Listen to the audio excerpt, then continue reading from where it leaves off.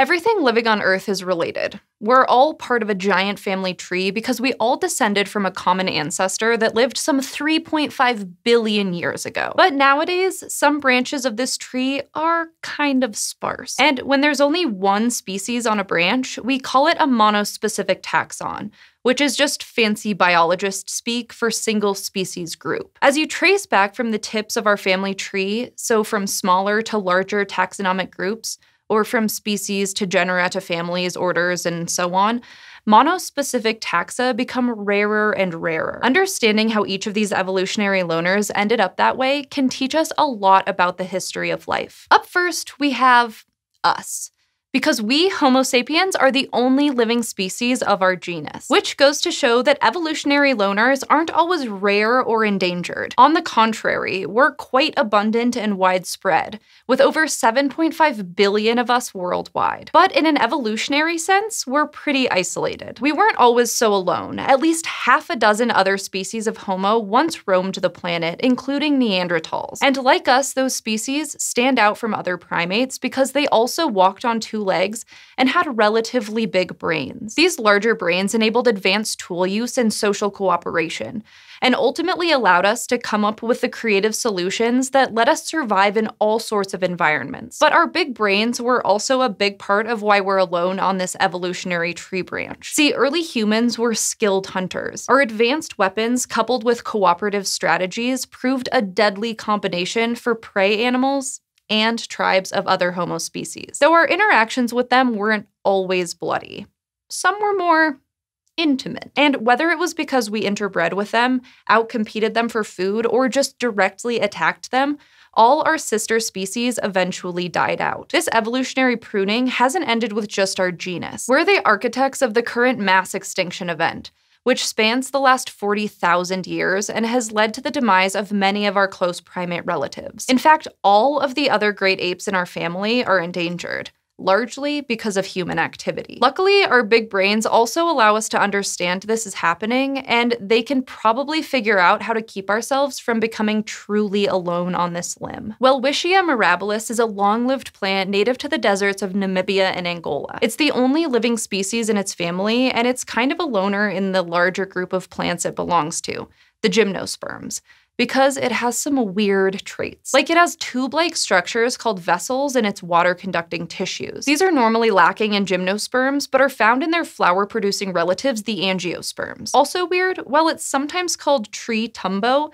it looks more like a heaping pile of seaweed than a tree. And that tangled mass is actually just two leaves each of which can be several meters long. Botanists used to think those leaves indicated it was stuck in baby plant mode, a phenomenon called neoteny. That's because many seedlings start with two leaves, so scientists assumed the whole species evolved to just never grow up. However, it turns out that Welwitschia isn't a lifelong juvenile.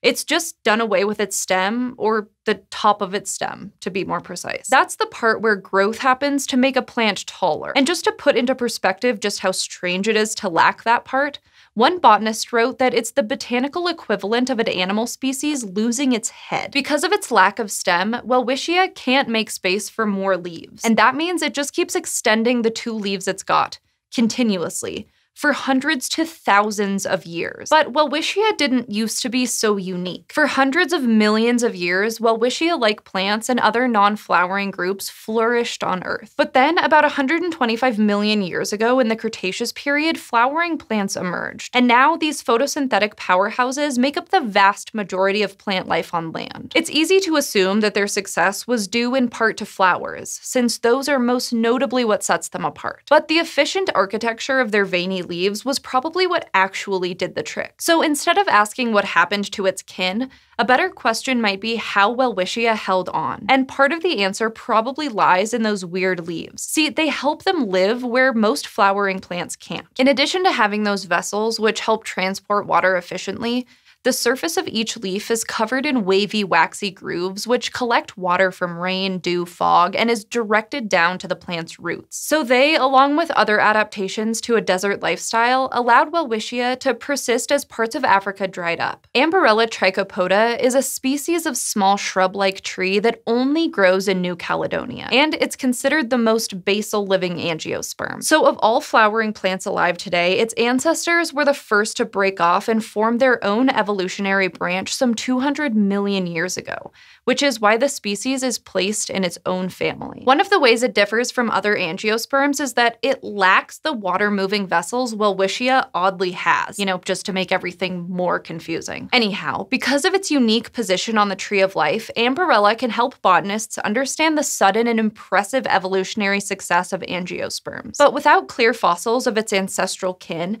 it's a little difficult to say why Amborella itself has no close living relatives. We know from looking at its genome that it missed out on some big genetic events that probably helped other lineages of angiosperm become so diverse, like whole genome duplications that gave them lots of genetic material for natural selection to tinker with. Though it does have a bunch of extra genetic material in its mitochondria. Bizarrely, the Amborella mitochondrial genome contains four almost complete genomes from other plants and a total of six genome equivalents of foreign DNA. The transferred genes come from all manner of photosynthetic species, including algae, mosses, and other angiosperms. And to be frank, we have no idea what, if anything, those extra genomes do. But if we figure that out, maybe we'll also get more insight into why this plant is such an evolutionary loner. This might look like a lizard, but it's not. It's a tuatara, the sole surviving member of a separate reptilian order that diverged from the ancestor of true lizards and snakes some 250 million years ago. One way you can tell is by its skull. Tuatara have a pair of holes on both sides of their skulls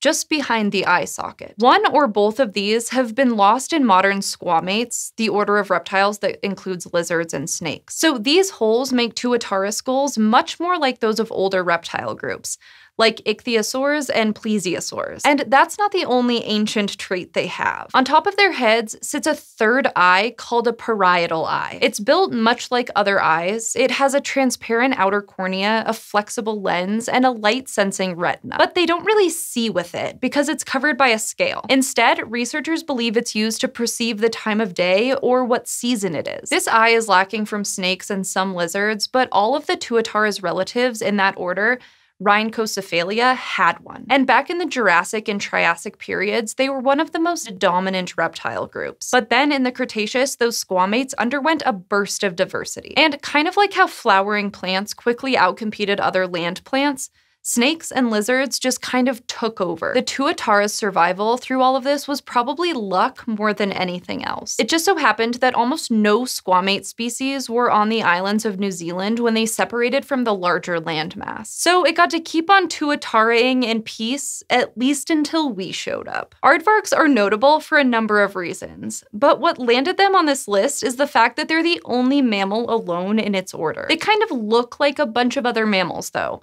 and that's because they're a great example of convergent evolution, where different species independently evolve similar traits. If you had to guess their closest living kin, you might understandably say pigs or anteaters, but in fact, they're more closely related to elephants. Aardvarks look more like those other animals because they're highly specialized anteaters. Those pig-like noses help keep their nostrils free of dirt while they root around to find food. And they share several traits with true anteaters, like long tongues and reduced teeth, because well, both eat insects that don't really require chewing. Historically speaking, it's unclear what happened to the aardvark's closest relatives mostly because, well, we don't know who their closest relatives were. The handful of related extinct fossil species from a few million years ago look too much like modern aardvarks to provide any insights, and no one has found transitional fossils that reveal who they're related to. So all we know is that the aardvarks line appears to be an early offshoot of a very ancient group of ungulates,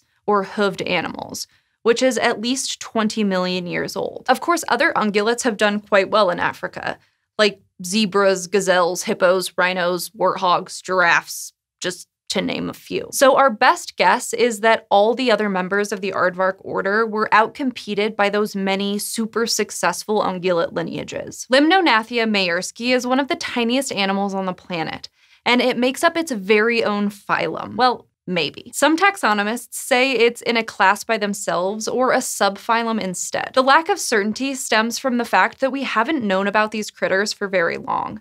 So there's still a bit of a puzzle in general. They were originally discovered in freshwater springs in Greenland and first scientifically described in the year 2000. Since then, they've been found in a few other Arctic lakes and in subantarctic waters. And no, we have no idea how they wound up on opposite sides of the planet. Adding to the mystery, all individuals found so far have been female. Scientists wonder if they've somehow missed the males because they're even tinier. Keep in mind, these animals are only 80 to 150 micrometers long as adults. Or perhaps they start their lives as male and then switch to being female as they grow larger a phenomenon called sequential hermaphroditism. Or maybe they're just parthenogenic, and females generate clone offspring. Whatever's going on, what sets them apart from other tiny aquatic animals is their serious, scary set of chompers. Their jaws contain 15 moving, gnashing, microscopic parts. And packed into those tiny bodies and complex jaws are clues to their possible close relatives. The overall structure of the jaws suggests a close relationship to rotifers, a much more numerous and widespread phylum of microscopic animals. So it's possible the few isolated populations of Limnognathia we see today are the last survivors of millennia of battles with rotifers. Or perhaps further research will relocate them to a closer and fuller branch of the animal family tree and point to some other explanation. Comparing these diverse species shows us that there isn't just one reason why an organism ends up an evolutionary loner. Sometimes they have a trait that allows them to persist through adversity, like the drought tolerance of Welwitschia. Or maybe like the Tuatara, they just find themselves in the right place at the right time. Piecing together the prehistoric past can be tricky, but studying these special species can help us better understand all life on this planet. We hope you enjoyed learning about these weird, wonderful species. We're certainly big fans of them. So much so that we made a poster. And it's really the kind of artwork that pulls a room together, you know? If you want to check it out for yourself, you can head over to dftba.com slash scishow or scroll to that little merch shelf. And as always, thank you for watching SciShow.